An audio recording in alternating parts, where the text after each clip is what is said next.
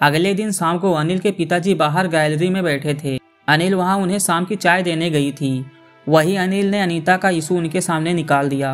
पहले वो भी माँ की तरह गुस्सा करने लगे, पर अनिल के बहुत समझाने के बाद मान गए। आखिर इतने सालों बाद माँ पापा अनीता से मिलने के लिए राज़ी हुए थे, और इसका कारण था अनिल मतलब अनुष्का। अगर वही बात अनुष्का अनिल बनकर कहता तो वो कभी नहीं मानते। इसलिए अनिल को गर्व था खुद पर कि वो एक औरत बना है। अगले कुछ दिन में अनिल और ज़्यादा माँ पापा से घुल मिल गई। दोनों अनिल को बहुत प्यार करने लगे थे, पर अनिल के मन में हमेशा डर लगा रहता था कि क्या होगा जब माँ पापा को उसकी हकीकत मालूम पड़ेगी। अनिल हमेशा मन में प्रार्थना करती थी कि वो दिन कभी ना आए, पर भगवान को शायद कुछ अलग ही मंजूर था। एक रात जब माँ पापा सोने चले गए, तब सोनिया ने अनिल से कहा कि आज थोड़ा रोमांस करते हैं, बहुत दिन हो गए हैं हमें एक दूसरे के साथ रोमांस करे हुए। अनिल का मन तो बिल्कुल नहीं था माँ पापा के आने के कारण पर सोनिया को भी निराश नहीं कर सकती थी। इसलिए अनिल ने अपने आप को सोनिया को सौंप दिया। कुछ ही देर में अचानक बेडरूम का दरवाज़ा किसी ने खोल दिया। सामने देखा तो दरवाजे पर अनिल की माँ अपने मुँह पर हाथ रखे खड़ी थी। सोनिया और अनिल के बदन पर एक भी कपड़ा नहीं था और रूम की लाइट ऑन होने के कारण माँ ने अनिल और सोनिया दोनों को साफ़ साफ़ देख लिया था। माँ को सामने देख दोनों को कुछ समझ नहीं आ रहा था।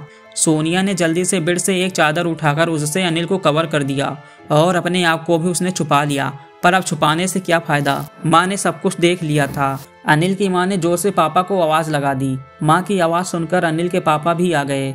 माँ ने पापा को सब कुछ बता दिया, जो भी उन्होंने देखा था। माँ और पापा दोनों सोच रहे थे कि ये कैसे हो सकता है। इतने दिन हम जिसे लड़की समझकर प्यार कर रहे थे, वो असलियत में लड़की नहीं, बल्कि कुछ और ही है।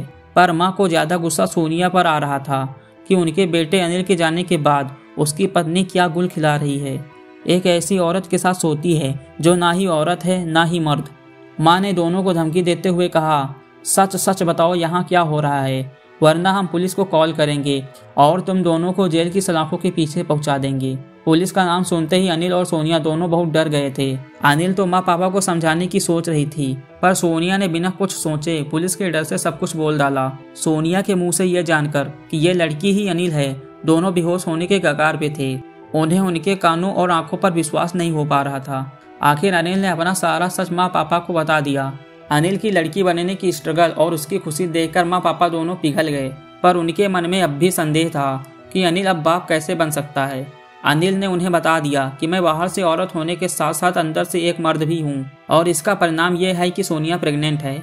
उन्हें अपना पोता मिलने की खुशी के आगे और कुछ दिखाई नहीं पड़ा।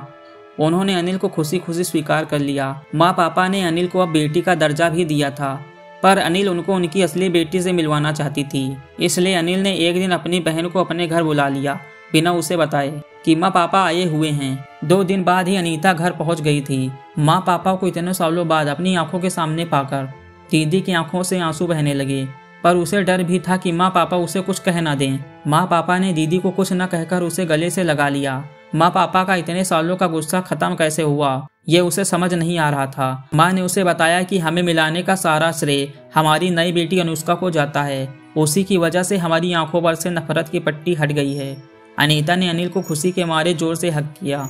और अनिल मतलब अनुष्का के माथे पर किस किया और कहा अच्छा हुआ अनिल कि तुम अनिल से अनुष्का बन गई। तुम्हारे इस बलिदान से तुमने बहुत कुछ पाया है। तुमने अपने प्यार को पाया है, बहन को अपने माँ बाप से मिलवाया है। भगवान करे कि तुम हमेशा ऐसे ही खूबसूरत और खुश बनी रहो। माँ पापा ने भी अनिल के पास आकर प्यारा सा हक किया। उस दिन के बाद सब खुशी खुशी रहने लगे। अनीता अपनी पति शिवम के पास वापस चली गई और माँ पापा ने अपने गाँव का घर बेच दिया और हमेशा के लिए सोनिया और अनिल के साथ रहने आ गए। कुछ दिनों बाद सोनिया ने एक प्यारे से बच्चे को जन्म दिया। लड़का होकर भी उसकी शकल एक लड़की जैसी दिखती थी। शायद उसके माँ पापा दोनों औरत होने के कारण ही उसका चेहरा इतना खूबसूरत था।